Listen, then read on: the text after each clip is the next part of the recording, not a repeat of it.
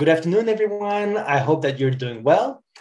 Uh, so today we are continuing this series of uh, preparation for missionary work, and we are going to study today about the spiritual preparation for witnessing. So we had uh, uh one part with Brother Marian, and now we're going to continue with the spiritual preparation. Now, our key text that we found in Isaiah 6, verse 8 says, Also I heard the voice of the Lord saying, Whom shall I send, and who will go for us? Then said I, Here am I, send me. So this is, um, if you remember, when Isaiah felt really unworthy and, and, and not capable to be God's mouthpiece, um, the Lord, you know, asked the question, who, who will actually go? Who will actually share the gospel, who will actually um, talk for us. And um, Isaiah could not, you know, uh, push that onto someone else. He said, you know, I'm not, I, I, I'm not able, but you know what? I will go. I'll do it. Now, this is very important. Our willingness to go despite uh, our preparation. You know, whether we prepared or not, we have to go and tell the people. Now, I want to tell you a story, a little story, uh, a true story um, that was told of um, um, a, a, slave in um, back in the United States when you know slavery was um, was still out there. Um, this is a true story that we find in in the book uh, called Early Conversion, and I want to read that uh, story for you and then we'll talk about it. It says there was held in Hartford some years ago a convention of the Colored Baptist Association of New England. I was invited to address one of the sessions. To show what those converted in early lives are sometimes enabled to endure by God's grace, I related the following story. What's that, Willie? That's a spelling book, Jack. What's the spelling book for? To learn how to read. How you do it? We learn those things first. And so Jack learned A, B, C, etc., mastered the spelling book, and then learned to read a little, though the law forbade any colored person to do it. So as you see, Jack learned, uh, even though he was he was forbidden to do it. And so um, now this this spelling here, um, I can tell you know it shows you that uh, this these were not very educated people because it was forbidden for any colored person to be educated. You know, maintaining ignorance is one way to control people. So it's it's um, uh, very important to, to, to give knowledge to everyone. Now it continues. It says, one day Willie brought home a little black book. Jack asked, "What's that, Willie?" That's that is the New Testament that tells about Jesus. And ere long, Jack learned to read the New Testament, and when he read that God so loved the world that he gave his only begotten Son, that whosoever believeth in him should not perish, but have everlasting life, and that he really loved us and died for us, and that if we confess our sins, he's faithful and just to forgive us our sins, his heart went out in love to Jesus. He believed in him, his sins were forgiven, his heart was changed, and he became a happy Christian. Now, though a mere child, he at once began to tell other of Jesus' love. When he began a young man, he was still at work for the Lord. He used to go to neighboring plantations, read his Bible, and explain it to the people. One day, the master said to him, Jack, I'm told that you go off preaching every Sunday. Yes, master. I must tell, Je- tell sinners how Jesus died on the cross for them. Jack, if you go off preaching on Sunday, I'll tell you what I will do on Monday. What will you do on Monday, Master? I'll tie you to that tree, take the whip, and flog all this religion out of you. Now, Jack knew that his master was a determined man, but when he thought of Christ's sufferings for us and heard his Lord saying unto him, Be thou faithful unto death, and I'll give thee a crown of life, he resolved to continue his work for the Lord the next Sunday. With his New Testament in the hand, he went down to the plantation and told them that his master might whip him half to death the next day. But if he did, he would not suffer more than Christ had suffered for us. The next morning, his master said, Jack, I hear you were preaching against yesterday. Yes, master, I must go and tell sinners how Jesus was whipped that we might go free. But Jack, I told you that if you went off preaching Sunday, I should whip you on Monday, and now I will do it. Blow after blow fell upon Jack's back, while oath fell from the master's lips. Then he said, There, Jack, I don't believe you'll preach next Sunday. Now go down to the cotton field and go to work. When next Sunday came, Jack could not stand straight, for his back was covered with sores and scars. But with his testament in his hand, he stood before the people of the plantation and said, Master whipped me most, uh, uh, uh most to death last Sunday. And I don't know, but I will, ki- but he will kill me tomorrow. But if he does, I shall not suffer more than Jesus did when he died on the cross for us. Monday morning, the master called him and said, Jack, I hear you have been preaching again. Yes, master, I must go and tell sinners how Christ was wounded for our transgressions, how he sweat drops of blood for us in the garden, and wore that cruel crown of thorns that we might wear a crown of joy when he comes. But I don't want to hear you, your preaching. Now bear your back and take the flogging I told you I should give you if you went off preaching. Fast flew the cruel lashes until Jack's back was covered with wounds and blood. Now, Jack, go down to the cotton field and go to work. I reckon you'll never want to preach again. When the next Sunday came, Jack's back was in terrible condition. But hobbling along, he found his friends in neighboring plantations and said, Master whipped me most to death last Sunday, last Monday. But if I can only get you to come to Jesus and love him, I am willing to die for your sake tomorrow. If there were scoffers there, do you not think they were led to believe that there was a reality in religion? If any were there who would who were inclined to think that ministers preach only when they get money for it, do you not think they changed their minds when they saw what wages Jack got? Many were in tears and some gave themselves to that Savior for whose sake Jack was willing to die the death of a martyr.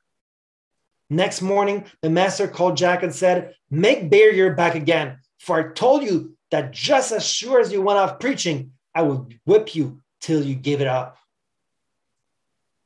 The master raised the ugly whip, and as he looked at Jack's back, all lacerated, he could find no new place to strike and said, why do you do it, Jack? You know that as surely as you go off preaching Sunday, I'll whip you most to death the next day. No one pays you anything for it. All you get is a terrible flogging, which is taking you life from me or from you. You ask me, Master, what I don't, uh, uh, it's hard to, to, to read, right? Um, why am I doing it? I'll tell you, Master. I'm going to take those stripes and those scars, Master, up to Jesus by and by to show him how faithful I have been because he loved you and me, Master, and bled and died on the cross for you and me, Master. The whip dropped, and that master could not strike another blow. In a subdued tone, he said, Go down in the cotton field do you think Jack went away cursing his master, saying, Oh Lord, punish him for all his cruelty to me? No, no. His prayer was, Lord, forgive him for Jesus Christ's sake. About three o'clock, a messenger came down to the cotton field crying, Master's dying, Master's dying. Come quick, Jack, Master's dying. In his private room, Jack found his master on the floor in agony, crying, Oh, Jack, I'm sinking down to hell. Pray for me, pray for me. I've been praying for you all the time, Master. You must pray for yourself. I don't know how to pray, Jack.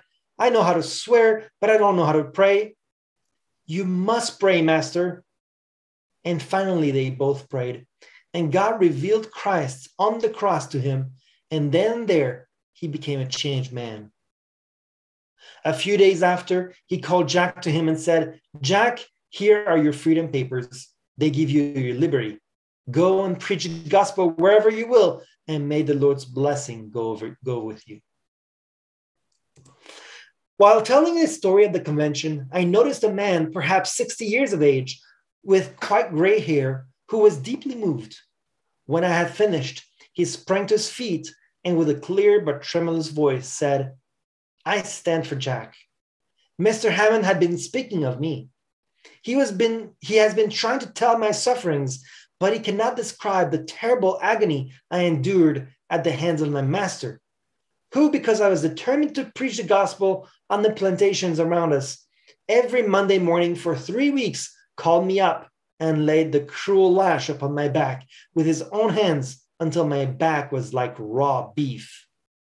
But God helped me to pray for him until he was forgiven and saved through Christ. And thank God, Jack still lives. Now, I have given you only a few of his burning words, but I can tell you there were many eyes filled with tears during this touching scene, which will not soon be forgotten by those who witnessed it. Now, this is a wonderful story and, and um, a true story of how witnessing for Christ um, meant for Jack.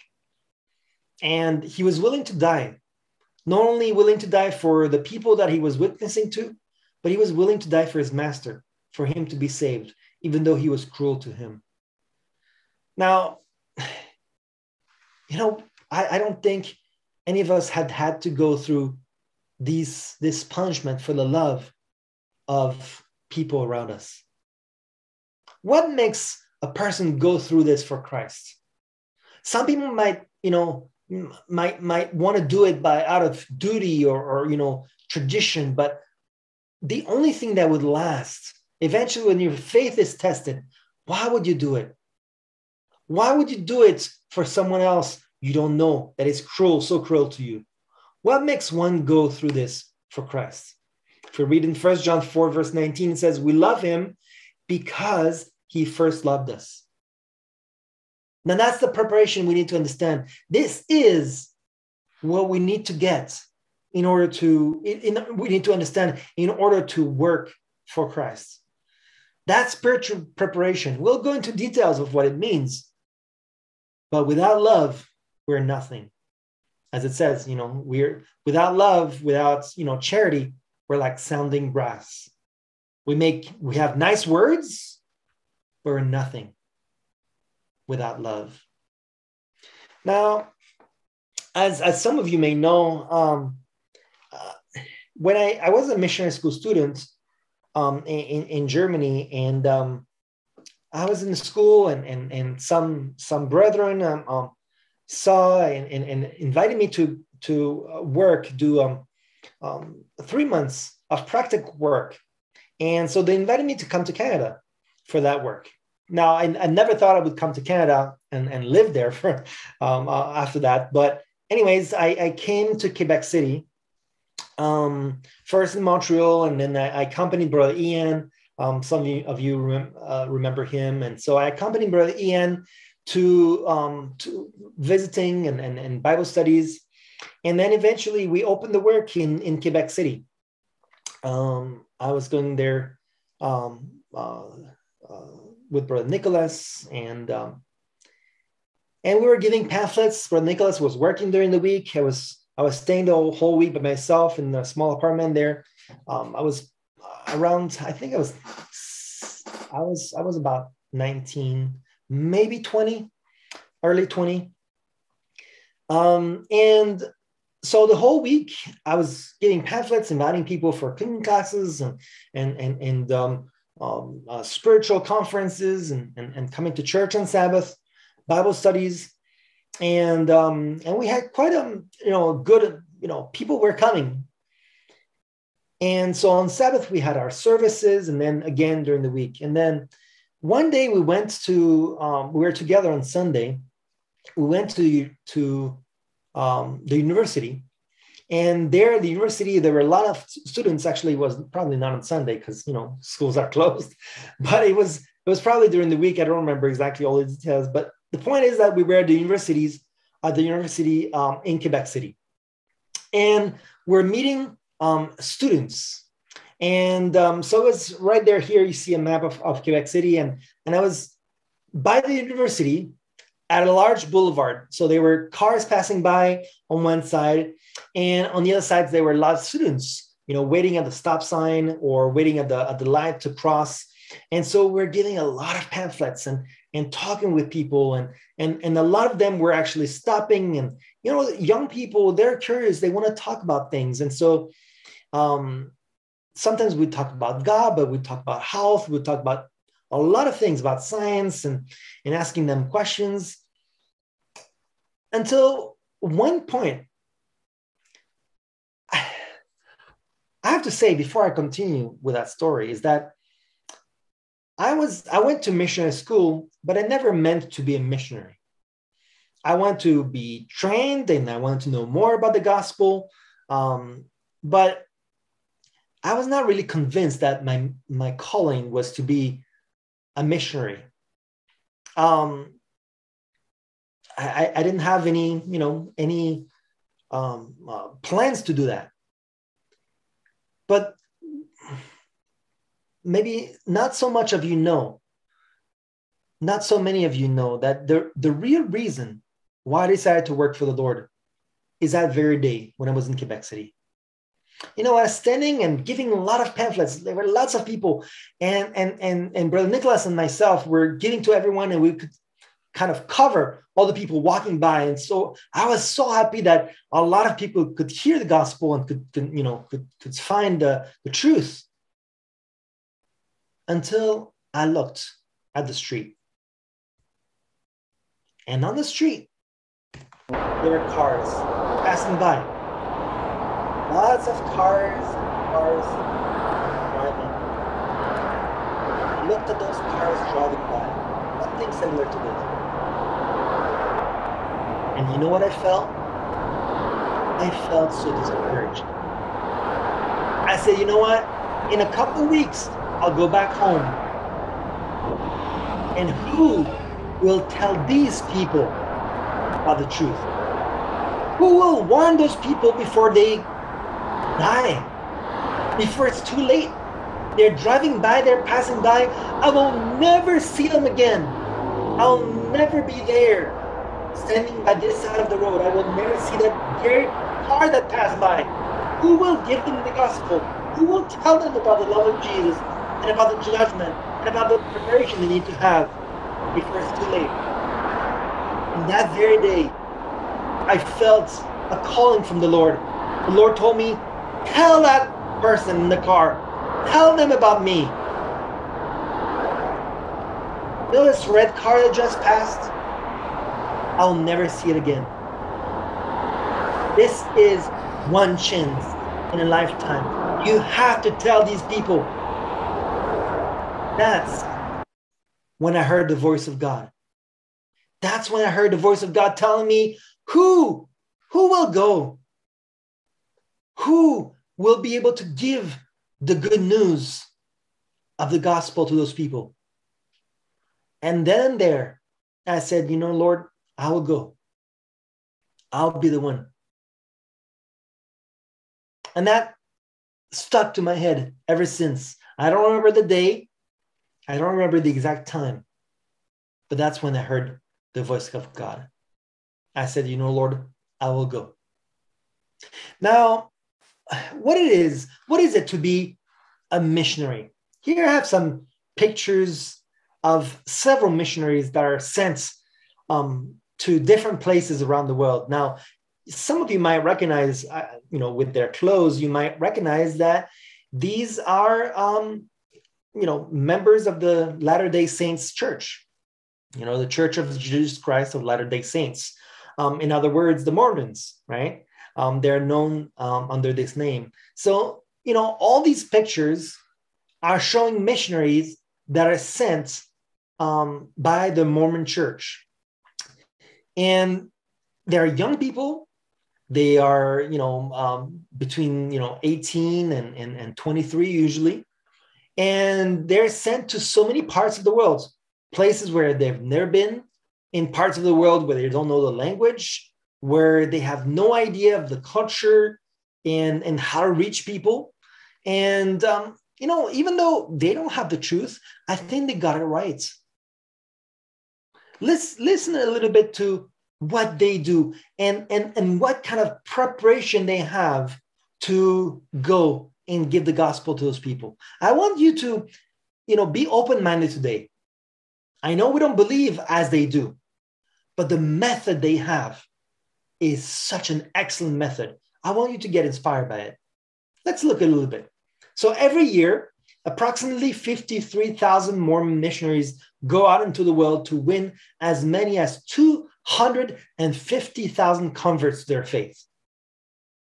Every year, that means approximately, you know, four, approximately four or five uh, person they convert per year. How many people did you convert last year? Or, you know, maybe it was COVID, you know. What about the past five years? How many people did you bring to the faith? Did you bring to the church? How many people came to visit the church? Not, not let alone being converted and baptized, but just how many people came to visit the church because of your work? About four or five here for every missionary that goes out. Now, they always go two by two. So multiply that by two, right? 10 people come every year because of these two men or women that go in the street and talk with people and knock at their doors.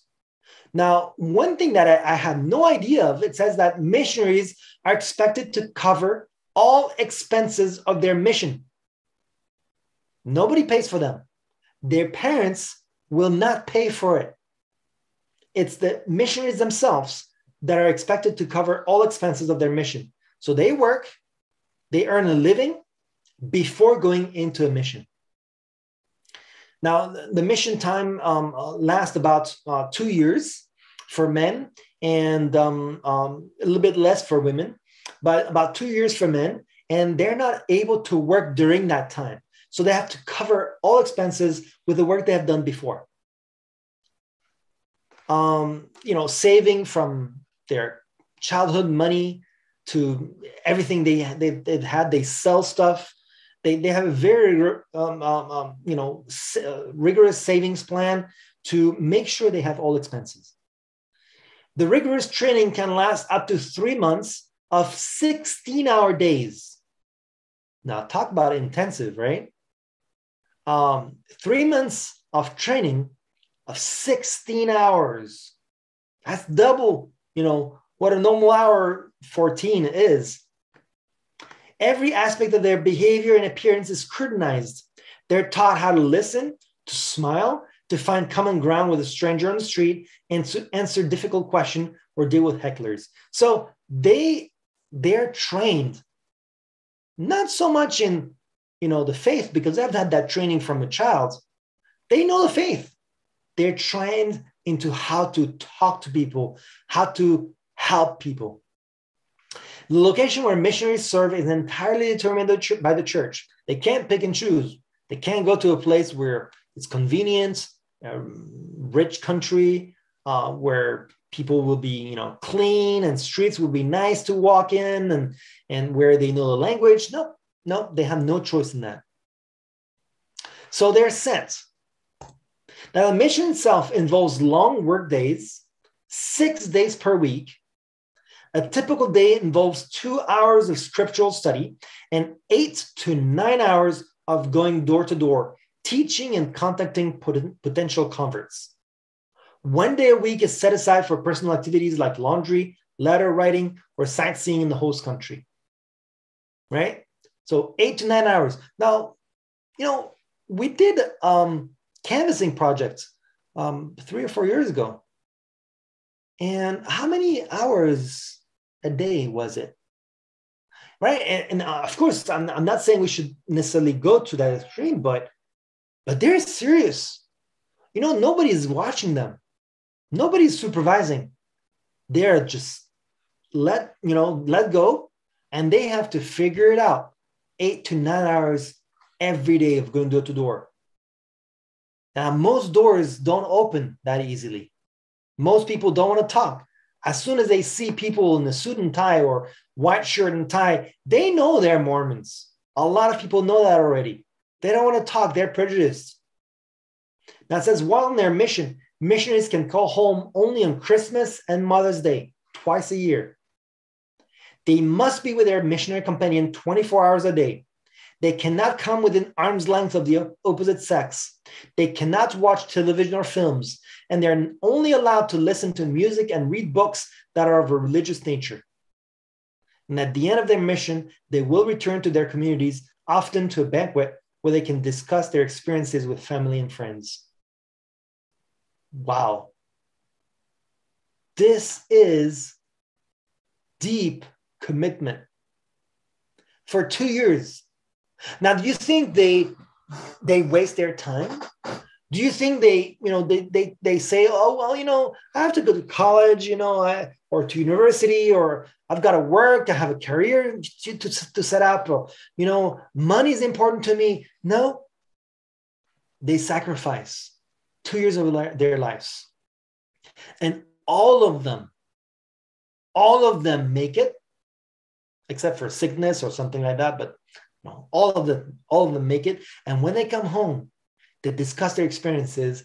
It's life transforming. You're never the same person any, anymore. This is why missionary work is so important. Learning so many things, how to share faith, how to be strong in your faith, a pillar in church. And now I'm not only talking about young people you know in the mormon church most mostly it's you know the young people that go. And their church is growing. And not just because of their children they're making because yes they're making a lot of children but it's not it's not because of that. The church is growing not from the inside. Church is growing from the outside. Brethren don't we have a lesson to learn from there? This is important to me. They have they have a transforming experience. And when they come back to their homes they're able to be strong pillars motivational leaders for the churches around. So what are the uh, steps we need to take to be such missionaries as well? You know we don't necessarily have to go to a different country or different part of the country to be missionaries. I wish some of us could go to you know alberta Saskatchewan, other places, you know, that have not been explored by the Reform movement, where we don't have a church there yet. So I wish some of us could do that, but we don't necessarily have to do this. But how?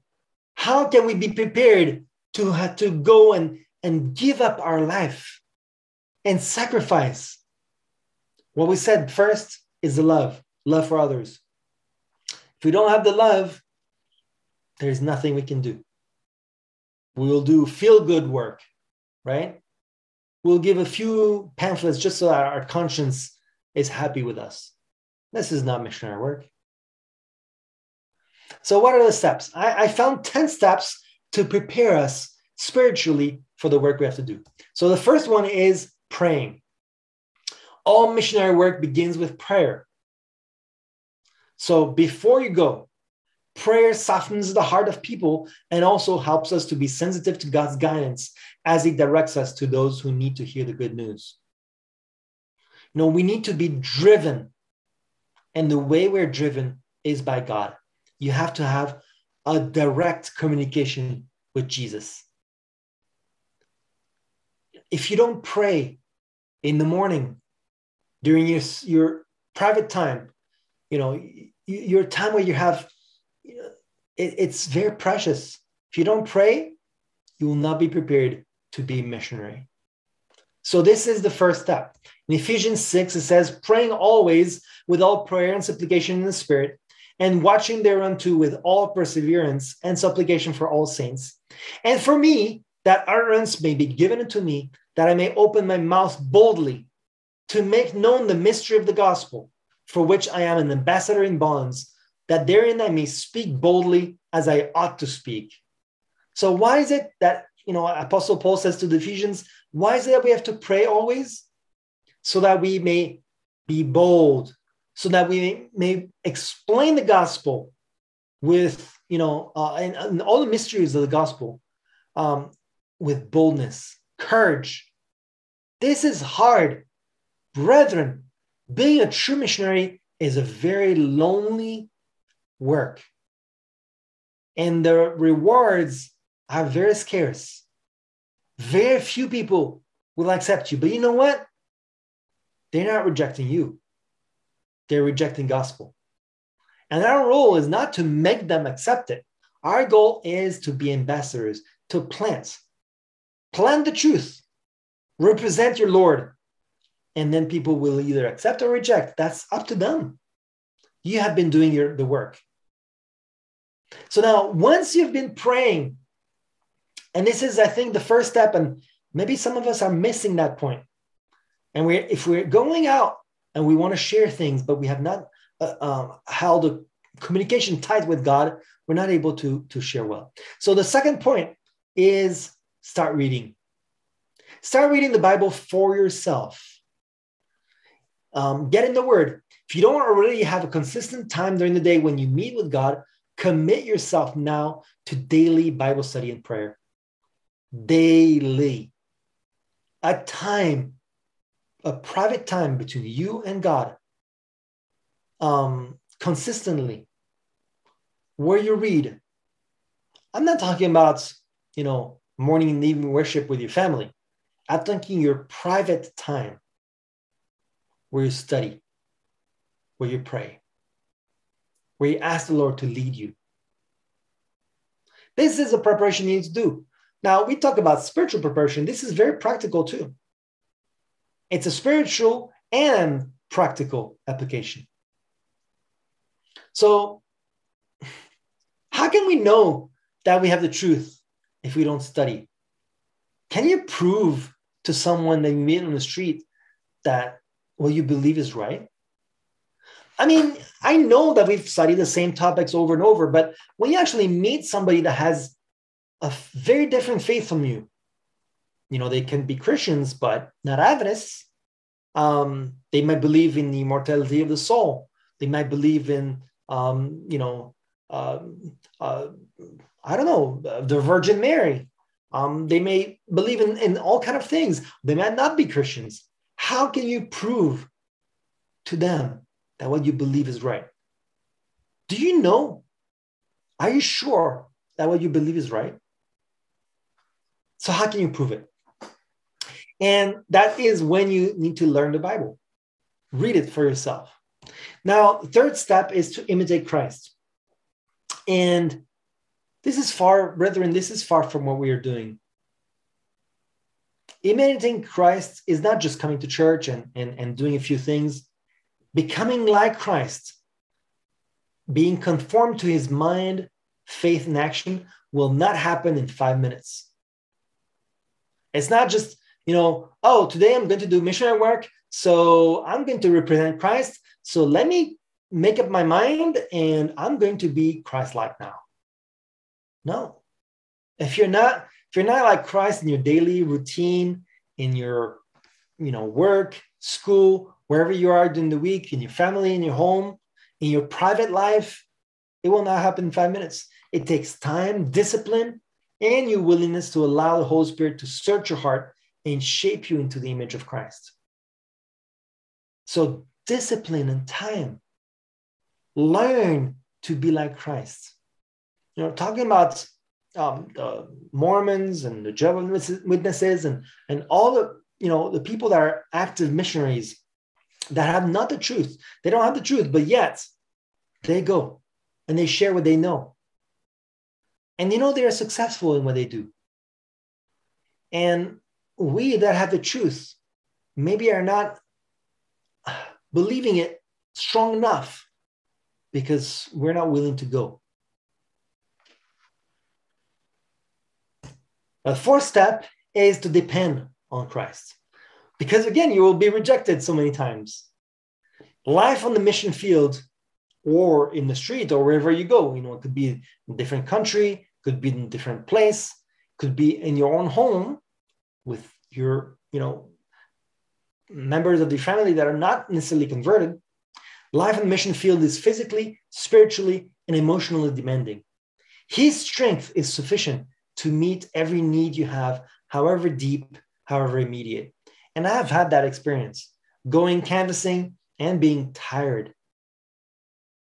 You know, physically tired, but especially emotionally tired. Because you've seen so many doors slap back at you, people, you know, being angry, people being, you know, rejecting you. Um, I've had people threaten me. Um, it's it's hard. You know, you have good intentions, and every door, you know, the previous door you've been rejected, but now you're in front of a new door, and you can't let them see that you've been rejected just before. You have to smile again, be excited again. And after a while, I was I was disappointed. You know, I, I said, you know what, it's not working. I'm, I'm trying, and people reject me, and you know. And I said, you know what, there are a few more doors in that street, and I'll do those three doors and three houses, and then then I'm done. I just you know, that's it. That's it for the day. It just maybe I'll sleep over it, and tomorrow I'll have more energy. But today I'm I'm, I'm done. So I knocked those three doors, three rejections. And I said, all right, I, I turned around and then something told me, you know what? Don't don't just come back to the street on, on the street without doing anything. Just cross over and and come back knocking at those doors on the other side. And I was really disappointed. I didn't want to do it. And the voice was insistent. And so I crossed over and I knocked. And that first door was an old lady. She was sick and she took some time to open her door, but I could hear there was some noise in the house.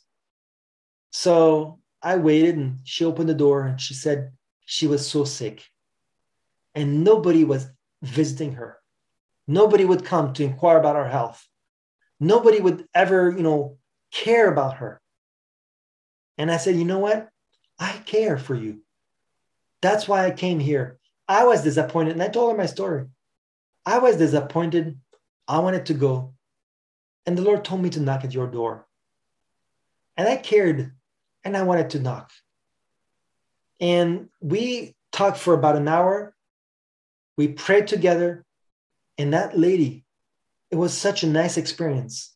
You know, it gained all the courage that I was about to lose. It came back to me the Lord wanted me to have that experience because no matter what, the Lord leads. He knows who needs to hear the gospel and when. You know, we have to depend on Him. He is the one that shows us the way. He's the one that encourages us when we're tired, when we're we don't want to go anymore, when we're bored, when we're alone. You know how hard it is? many people don't don't realize that. But during the week, yes, we do some Bible studies. Um, yes, we visit some people from the church and people we know, but we also do missionary work, giving pamphlets in the metro here in Montreal or in the street, knocking at doors, and it's very it's a very lonely work. And even if you're accompanied by someone, um, it is still hard it is still hard. But when the Lord is here for us, then uh, we have strength. I, I want to give you, you know, courage. In Zechariah 4, verse 6, it says, Then he answered and spake unto me, saying, This is the word of the Lord unto Zerubbabel, saying, Not by my might, nor by power, but by my spirit, says the Lord of hosts. When we go with the Spirit of God, wonderful things can happen.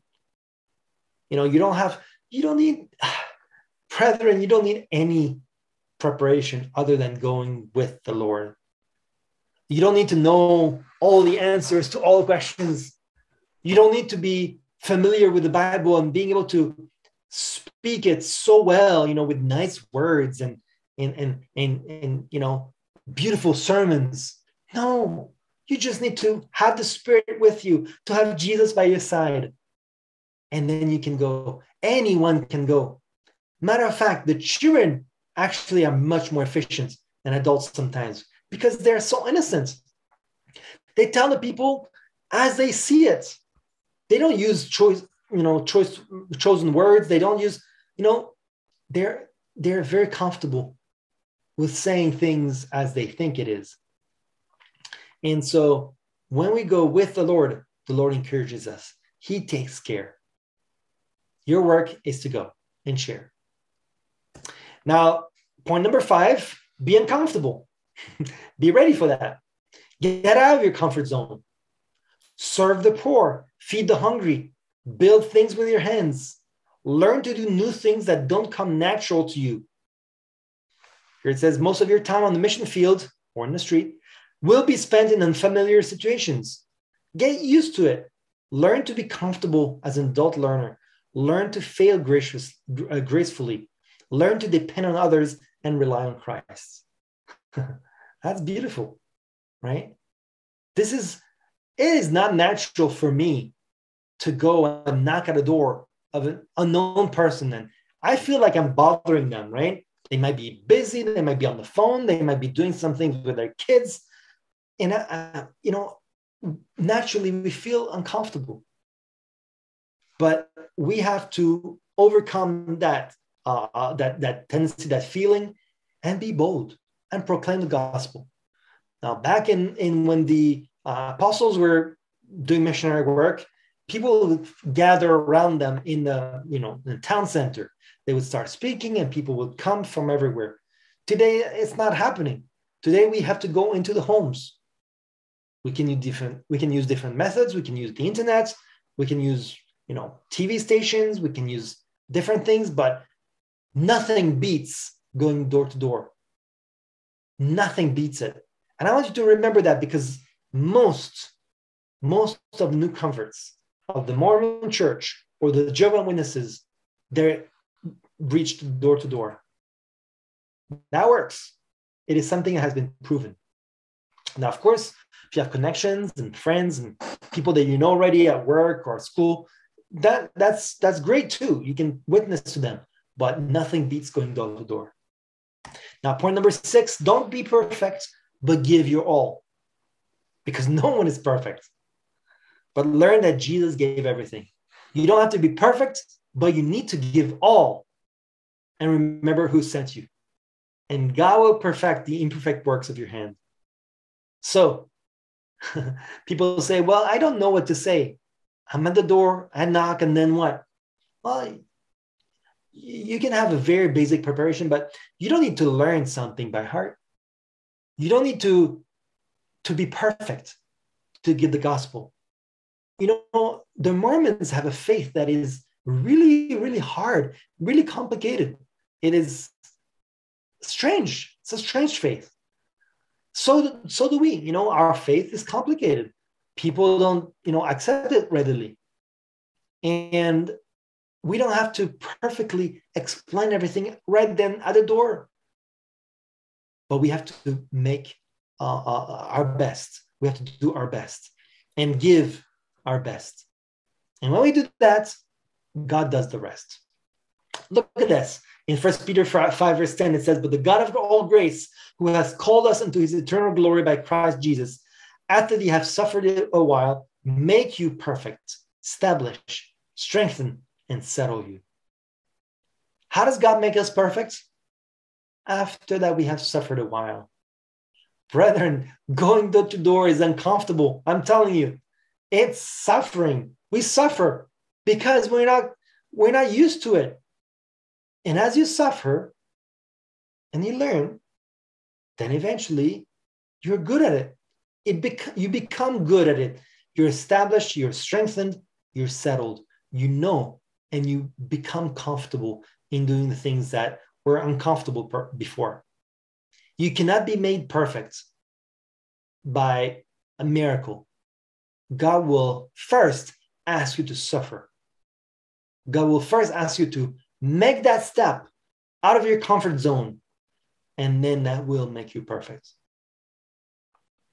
So, brethren, I, I really want to encourage you. I know some of you have a lot of things to do. You think about so many things. you have different goals, but please take the time to suffer a little bit for Christ. Think about the Pentecost. What did what experience did the disciples have at the Pentecost? In Acts of the Apostles, page 37 says the disciples prayed with intense earnestness for a fitness to meet men and in their daily intercourse to speak words that would lead sinners to Christ. Putting away all differences, all desire for the supremacy, they came close together in Christian fellowship. They drew nearer and nearer to God, and as they did this, they realized what a privilege had been theirs in being permitted to associate so closely with Christ. Sadness filled their hearts as they thought of how many times they had grieved him by their slowness of comprehension, their failure to understand the lessons that, for their good, he was trying to teach them. So it is for our good, brethren. Sometimes we go to the streets and we fail. But what does that failure mean to you? How do you learn from that? You know, we have to be ready to lead sinners to Christ. Not reject them, but lead them to Christ, lead them to repentance. Now, it doesn't necessarily mean that you're not telling them what's wrong. No, no, we have to tell sinners that what they're doing is wrong, but we have to bring them to Christ as we do that and not push them away. Right? You don't go out and tell people that what they're doing is wrong. You tell them what is the best, and then you lead them to love the better way. It continues, the text says, These days of preparation were days of deep heart searching. The disciples felt their spiritual need and cried to the Lord for the holy unction that was to fit them for the work of soul saving. They did not ask for a blessing for themselves merely, they were weighted with the burden of the salvation of souls. They realized that the gospel is to be carried to the world, and they claim the power that Christ has promised. what a wonderful promise. Christ is powerful. Do you believe it? Do you believe he can use you to witness to people? You know, all this eastern part of Canada has not been evangelized yet. it's, it's not even a, a drop in the ocean, it's half a drop in the ocean that we've done. We need to be active missionaries. We need to have that culture as a church to go out and reach to the people. We need to think, you know, parents, starting from the parents, parents need to think, I want to be an active missionary. And when our children will see that, they will want to be like us. You know, they, they if if we sleep in church, our kids will do the same. How do we expect the younger generation to do better than we did? It is up to us. We are the model for the generation after us. And if we are not active, how do you think our children will be active? They won't be. Point number eight it's exercise because evangelism is like a muscle. The more you use it, the stronger it gets. So we have to learn to share our faith. We have to become accustomed to articulating the gospel and telling how Christ changed our life. Have you shared with people how God changed your life? How he was able to, you know, make you whole? How he was able to make you happy and save you from so many dangers and, and problems of this world? You know, you have to uh, uh, make sure you exercise these abilities. You have to uh, hone your skills. You have to share to people. And the first person you talk to, that person may, may laugh at you. But the more you do it, the better you will be at it.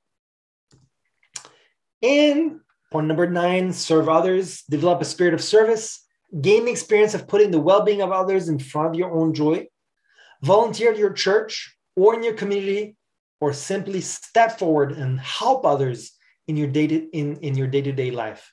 Learn to say, serve others so Jesus receive the glory, not yourself. Service is at the heart of almost every missionary's daily experience. I, I see that all the time. Um, I can tell you, you know, many times I've been visiting people, especially I remember one family um, I was visiting them in the in the south of France, and um, I would I would go there because it was about eight hours away from my house. I would tour about every two months, and um, and I had Bible studies planned for that day, you know. And so I visited them, and when I arrived at their place, the lady was exhausted. She was a young lady. She was maybe 25, 26. Um, I was a little bit younger than her. And um, and she had already four kids. She was exhausted. She could not do it. Her kids were crying. Her house was a mess. And she was exhausted. And I remember there, I sat down and I said, you know what? I can I can just ask you to listen and and and and have a Bible study right there on your kitchen table when the whole house is a mess. And I said, How can I help you? And I realized that what she needed the most was not a Bible study today. She needed the most was help. And I went on and I cleaned the whole kitchen. And when I say cleaning, I just didn't, I, didn't just do the dishes. I cleaned everywhere, everywhere, the floor, the, the, the baseboards, everything was sticky and dirty. Not because they were dirty people, just because she didn't have time. She was exhausted. And so that day, I spent three hours there cleaning everything. And we prayed and I left. And last week, I talked to her on, on Messenger. And she still remembers that day. And after that, I came many times. You know, we had Bible studies and everything. And Eventually, I left for Canada, and but she's still an independent Adventist, you know. Um, but she remembers that day, and we have that relationship today. And so, service is of utmost importance. Without asking anything in return, I could not write in my work reports, you know, three hours of cleaning. That's not what my job description is. But this is what we need to do. And the final, final point I wanted to add for today is to have a personal testimony. Some testimonies are gained on the feet, bearing them, as well as on the knees, praying for them. This is where you can get a personal testimony. Brother, I want you to have that testimony. I want you to be able to share with people what you have done. Share, you know, as you go and, and win souls for Christ, you can tell others about how these first souls were won for Christ. And these in turn will go and, and, and let others know uh, uh, uh who it, Jesus is to them. In John 7, verses 17 to 18, it says, And if any man will do his will, he shall know the doctrine, whether it be of God or whether I speak of myself. He that speaketh of himself seeketh his own glory, but he that seeketh his glory that sent him, the same is true, and no unrighteousness is in him. So we need to seek the glory of God. Tell the experience of what God did to you, how he pushed you to be a better person, to be a missionary. Where were you convinced? When did you have the desire to go out for Christ? You know, we need to have that culture swift uh, uh, uh, uh, um, shift in our church. A complete shift of thinking that we're here to witness and not just to be a social club. We need to have that culture as the Mormons uh, did, as the Jehovah Witnesses did. You know, especially the Mormons. The Mormons were not witnessing so much um, until the 60s. 1960s. Before that, they were just, you know, growing out of, you know, like most other churches and spreading and, you know, talking to people around them. But they were not active missionaries until the 60s. And one man, one of their um, leaders, um, developed a plan, a detailed plan for everyone to be involved. There were missionary schools established everywhere. People were excited to send their kids to missionary schools. People were excited to have an experience in another place, a place that was adventurous, a place that was the unknown. Brethren, my experience in missionary school is what made them who I am, is what made me who I am. I am a different person after having spent two years in missionary school. And I wish that for every youth. And also as an adult, you know, I, I want you to be active missionary and you will see that this will change your life. Don't run after things that are only for this earth. Run after things that will give you a crown of glory. So now we'll have um, some time for questions and um, um, maybe some testimonies uh, of what how you were brought to the gospel and um, and who came to get you. Um, so uh, we're going to go into the time of uh, questions at this time. Thank you so much.